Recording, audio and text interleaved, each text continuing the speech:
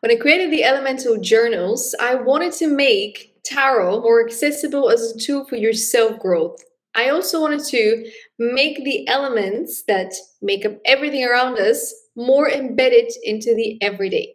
So in today's video, I'm going to look at how to do tarot with the wand set, which is the fire set. So within this element, within this journal, you're going to find two key elements, the fire, which is the wands, which is the spiritual side, and earth, which is the grounding element. And when you're changing your lifestyle, when you're changing your habits, the best way to make long lasting changes is to figure out your why, to start with your identity, which is the basis of atomic habits as well. When you start with who you are and what you want to bring into this world, when you find your why, what you're passionate about, changing your lifestyle, changing your habits becomes a lot easier.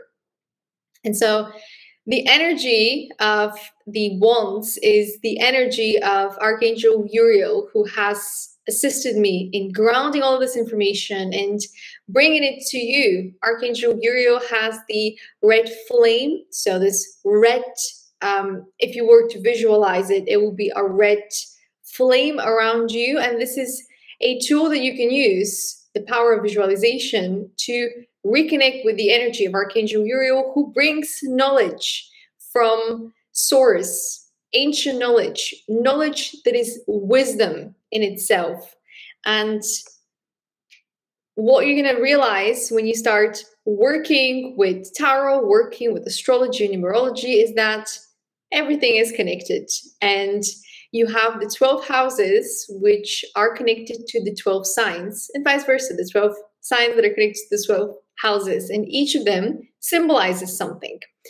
And you can be quite literal. And when you see the number, when you see the house, you can connect it to one of the signs, or you can look at, into the meaning of what each house represents and connect it to the energies. And now the four elements earth, air, water, and fire they also connect to a specific uh, manifestation of the element within us the humans. So earth signs, they're going to be more uh, about the integrity, more about the identity, more about the safety. And air signs are going to be more about the information and the knowledge and the intelligence. Then we have the water signs that are all about emotions, empathy, and connections. And finally, we have the fire signs that are here to remind us of the purpose, the passion, the confidence within us. And it's all about balancing because we are each made up of these elements in different proportions. And when we find our element, which is traditionally the sun sign, we can fully step into it and embrace it. But it's important to realize that we are all of the elements. And when we look into the houses, we are all all of the houses we have bits and pieces that make up our identity depending on you know what comes into our natal birth chart we can understand why we're more attracted to a life path that requires us to change often whereas some of our friends don't want to change because they're not here to change. They're here to create stable foundations within their community while you might be more attracted towards change. And so it's important for you to spend more time figuring out who you are in order for you to make the most of your lifetime, in order for you to channel more of your potential using these elements. And tarot cards can help us do that. So the first journal, Healthy Habits, borrows the energy of fire, the element of fire, and blends it with the earthly presence so that you can ground more of that passion and infuse your daily lifestyle with it. So Ace of Wands is the first card.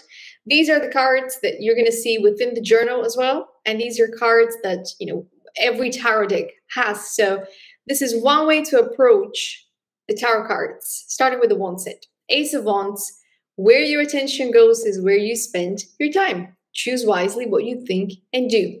Ace of Wands is almost like a new beginning when it comes to your mental, spiritual, emotional set uh, mindset. It's like a reset because it's a it's the first card of the wand set. It's almost this jump into a new timeline when it comes to the way that you think, the way that you view yourself in the world, and the way that you view the world. Because you have changed something in your identity, a mindset shift. So it's all to do with your self image, it's also to do with the leadership, the self expression, the integrity, the ego. The Ace of Wands almost always symbolizes that you have ascended beyond the limitations of the previous version that your ego was kind of creating for you. And it's synonymous of a new beginning, but it's not a new beginning in the sense of you changing jobs and you changing um, partners and your environment. It's more to do with that internal shift that realigns you more with your authentic self, with a version of yourself that can be a little bit more expansive. We have two wands next. Envision what you'd like to bring to life today. Set the right intentions, and you will. So, this is connected to the second house, resources, values, materials, security, self worth, union, balance. The Two Wands is a continuation of that mindset shift, mindset expansion. You're now using that identity shift to visualize a bolder, brighter, better vision, uh, better version of the future that you'd like to contribute to co creating. Then we have the Three of Wands. Growth is the process of reparenting your inner voice so that you can fully express your authenticity. So we're taking one step further in the journey. This is connected to the third house of mindset, thinking, communication, conscious mind, speaking and writing. So if the two of wands is you considering these new possibilities that have opened up because you've created that mindset expansion within the Ace of Wands or with the Ace of Wands. With the Two of Wands is the envisioning part, and then with the Three of Wands is you actually changing things in your lifestyle, changing things around you, speaking into existence certain things, perhaps setting boundaries, perhaps trying new things. Um, experimenting with your choices as to maybe I should start going to the gym, maybe I should start doing yoga, maybe I should start journaling, maybe I should start a gratitude checklist daily these are the energies this is the the energy of the wands being moved towards action. And the four of wands then is about the progress. Honoring your progress means you're wise enough to know slowing down is an investment. It's also a time but you know once you've had the two of wands where you're envisioning it the three of wands when you've had some action being made towards the vision four of wands is the the first checkpoint. It's the first milestone that you reach, and you get a moment to slow down and look around you and understand I've actually done something different. I've actually changed something. I've actually grown. I've actually expanded. I've actually brought changes to my lifestyle. I've actually contributed to making my life better by believing in myself. Honoring your progress means you're wise enough to know slowing down as an investment is also an invitation for you to work on that uh, work life balance so that it can be sustainable. This is the fourth house, which has to do with home, family, roots, psychology, emotional security, and subconscious mind. This is a checkpoint where you get to celebrate the little wins, but you're also reminded to think back to where you were a day ago, five days ago, five months ago. Take a moment to celebrate the progress that you've made as you continue to believe in that vision because there's you know there's so many more steps that you will be taking the five of wands is the point of being tested your faith being tested a little bit every new habit requires us to stretch but we're infinite and limitless the five of wands is almost that card where you have to multiply yourself to make sure that all the pieces that you're trying to bring together to in order to succeed with that vision don't collapse. Then you don't collapse in the process of multitasking. So this is an invitation for you to add a little bit more spontaneity, to add a little bit more play, a little bit more joy. Because yes, every transformation is messy in the middle, but as long as you believe in the vision, you know that you're going to make it to the glorious end. You just have to keep showing up daily. And sometimes progress is delayed, as in the visual progress is delayed. So the Five of Wands is connected to the fifth house of play, entertainment, creativity, pleasure, romance, and children. Bring it a children's point of view to your journey. This is an invitation for you to ground more of that passion that a child would have because a child is not in a rush to get the money, to get the deals, get the contracts. A child is interested in creating something. It's the passion in the child's ice and the energy. And that is what is asked of you to reconnect back with that child's play attitude. The Six of Wands is the card of victory. Victory belongs to those who can envision it and feel it in their heart, then act in alignment with it. So now you've made half of the journey towards accomplishing that vision.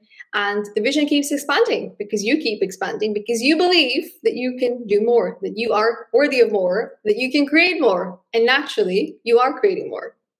This is the card connected to the sixth house, uh, which is the house of self growth, self improvement, work life, balance, nutrition, habits, routines, and service. So, this is the card where you are being brought to a new level of self mastery. You haven't quite figured out everything, but you're not quite where you started with the first of wands, with, with the ace of wands, with the first card of the wand set. You're somewhere in the middle of the journey. You're gaining that traction, you're gaining that recognition, you're gaining that success and you are being recognized for the changes that you're making because you are consistent. At this point, there is no going back because you are aligning with the version of life that you want to be experiencing every day. And the vision that you have in your mind is of an even greater future that's ahead of you.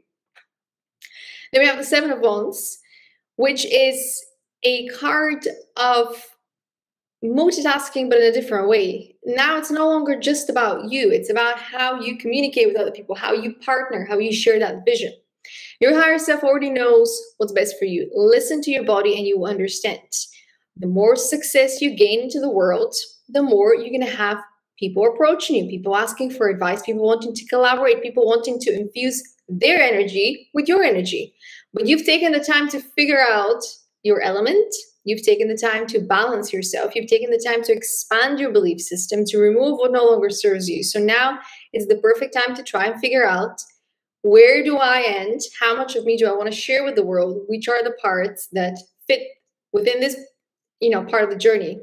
Which are the parts that I want to share with those around me, the community around me? Because the seventh house is the house of relationships, partnerships, one to one affairs, and commitments. So don't stretch yourself too much outside of you, especially if you have to keep holding that vision and preserving it so that you can ground it. And that vision might be of you wanting to become a fitness influencer, which would mean you have to say no to these invitations that would take you to unhealthier habits to bring it back to the habits. Think about the vision and what you want to achieve with that vision.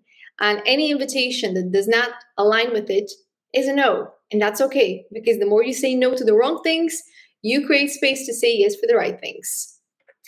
The eight of wands, the speed with which you adapt and change is the speed with which you will manifest your dream life. So, eight is the number of transformation, growth, change, debt, renewal, big feelings, and sex. So, it's an unexamined card in, in the sense that this is the card that signifies the house that signifies some of the things that we don't talk about on a day to day basis. It's a very transformational uh, indicator. It's a it's a card that talks about expecting the unexpected. You know, keep showing up daily to do your part, to play your part. You have shown consistency, you have demonstrated your commitment. But the Eight of Wands speaks of opportunities coming out of nowhere because of your commitment. But when these opportunities come, they're going to change your life. So you have to keep changing with the changes. That's what happens. You know, with the Six of Wands, you know the plan, you're following the plan, you're changing with the plan. With the Eight of Wands, the plan is going to expand, the plan is going to shift because they're outside contributing factors to that expansion, to that transformation. So allow the changes to change you, allow yourself to transform as these new opportunities and blessings come into the picture. Nine of Wands, boundaries helps us protect our inner peace and accomplish our wildest dreams.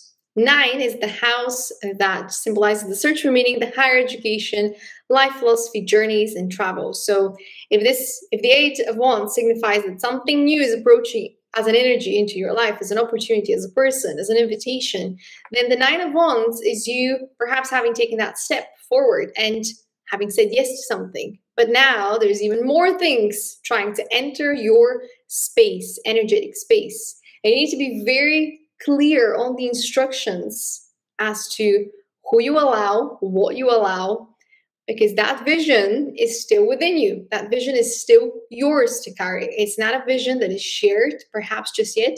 And even if it was, when you have a vision, you don't share that vision with just anybody. That is a vision that is being revealed to you because it's your mission. You're here to achieve something. And so when you have to set boundaries, it might feel strange because the more you step into alignment with your most authentic self, the more you want to give from that authentic place. But there is a reason certain people become out of alignment with us because it's time for us to be introduced to new people, to new opportunities, to new places. And so do not feel guilty for saying no to people that don't align with the version of yourself that you're trying to birth into the world. Ten of Wands is kind of the end of a cycle. Leaving things behind simply means you're ready to welcome ex- exciting change into your life. But every ending holds that sadness, perhaps. It's bittersweet because you have invested part of your energy, part of yourself in relationships with people, in employment, in um, causes that you care about, in communities, in events. You leave pieces of you, energetic links to situations and places as you go through life. But when you want to shift your life, when you want to change your lifestyle, when you want to ground new habits into your everyday experience of life, inevitably you're going to have to leave things behind. And this is a bittersweet moment. It's okay for you to acknowledge that you've been holding on to these burdens, as the card shows, for a very long time. It's okay to acknowledge that you've been strong. It's okay to acknowledge that they've taught you many lessons, but it's also okay to let them go. Because imagine that, I'm just going to show you the next card. Imagine the, the, the freedom that comes after you've reached that level up, after you've shifted your life. So the Ten of Wands is really a card of congratulations. You've been strong. You've been consistent. You've been committed for such a long time. Well done. And this is the house of achievement, recognition, public life, career, goals, and purpose. This is a huge milestone that you've reached. It's not a small milestone, this is a huge milestone. And if you are somebody that's committed to self growth, as an actively self growth, um, actively taking daily steps to that self growth journey, you will be reaching these milestones more frequently than other people. And you would need to learn to congratulate yourself because the people that you're leaving behind will not be able to clap for you initially because you are leaving them behind. So you have to learn how to um, give yourself that pat on the back when you're trying to change your life for the better. And then the Page of Wands is linked to the 11th house, which is community, collective ideas, humanitarianism, global awareness, clubs, and friends. So this is almost you breaking free from that old life, from that old cycle, old, old lifestyle, so that you can be introduced to people who are on the same page as you. So the page of wands is when we love what we do, we start to go through life in a constant state of flow. We allow people to enter our lives when they're here to teach us a lesson. We allow ourselves to open up to strangers when we have to pair up to do a project together, but then we allow ourselves to keep walking forward because we're here to achieve things, because we're here to explore, we're here to study, we're here to research. And so, this idea of staying in the same place for too long and building a career and investing 50 years of our life in one place is just no longer something that attracts many people. And it's okay to keep changing, especially when you found what you love, especially when you found that you are changing your life, your habits are helping you to channel more of your potential to do what you love and share that with people that you love. The Knight of Wands is about tapping into your passion. So, tapping into your passion is bound to speed up your manifesting powers. We have the Page of Wands, finding the joy Find the joy of what it is that you like doing. And then we have the Knight of Wands, and it's that passion, that drive. I am gonna get it done because I love spending the time anyway. So might as well bring it, bring some strategy, create some strategy around what I love doing, and create something that I can sell, something that I can offer to communities. So the 12th house is the house of spirituality, global mission, self mastery, uh, mystery, and alter ego.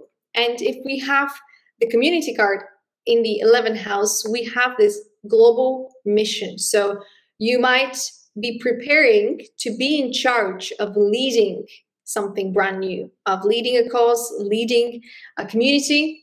This is you having taken all these steps to build yourself up where you can deliver the messages, where you can deliver the idea that you've been building as you were building yourself up. Then we have the Queen of Wands, which is kind of embodying the divine feminine energy um, aspect. We all have a masculine and a feminine energy. The feminine is the more intuitive side. It's the more the more kind of in, um, emotionally enhanced side, and it's the, the energy that's that allows us to be better listeners. For example, it's the more passive energy because it attracts things. So as a leader, who is leading with the feminine, you're going to be empowering other people to share their ideas and you're going to be bringing your attention to them so that you can hear them, so that you can invite their ideas. The Queen of Wands says the best version of your life already exists. You have to become the person who can sustain it. Self care is key. So we're tapping into two energies here. It's the fire, but also the um, the water. So the emotional side. This is an invitation for you to have more compassion for yourself and to lead from that place where you have more compassion for the people around you. And we have the King of Wands as the final card of the Wands set. Your commitment to achieving your goals might be your most impressive superpower. Say no to distractions, or rather, keep saying no to distractions. This is the divine masculine energy. This is the ruthless force that transforms societies, whatever this force goes, because this is a force that is driven by the purpose. Remember, this is the fire energy. And the divine, while the divine feminine energy has the fire and the water, so it's a little bit more mellow. Water it's has a bigger reach than the air in some ways, but the way that the air um, strikes, it's just very straightforward. This is somebody who has mastered their mental uh, abilities, and with the passion, they deliver the messages straight to the heart. And this is the type of energy where you fully take charge of what's going on, and you fully empower and bring people beside you, with you, as you share that vision. You're ready to share that vision. And so the divine masculine energy, when it comes to the fire, it's fire with air. So you were able to shift people's perspective. Remember, the air is about bending, a little bit like in the Matrix. You don't bend the spoon, you bend your thinking. And when you bend your perspective and you're able to engage in these conversations, we're able to bend other people's perspectives, not to manipulate them, but to show them a different way of existing. You step into the King of Wands, divine masculine energy.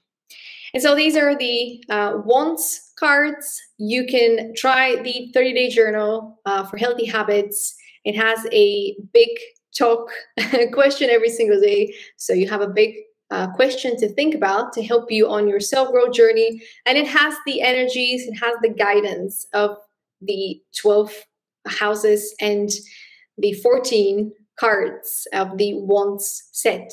And you're going to be working with Archangel Uriel. You're going to be working with the energies of fire and earth primarily, but naturally, all elements are always present. And if you have fire in your natal birth chart, more so than any other, you might find that this is a, a great journal to start with to ground more of your passion, more of your purpose to achieve your goals.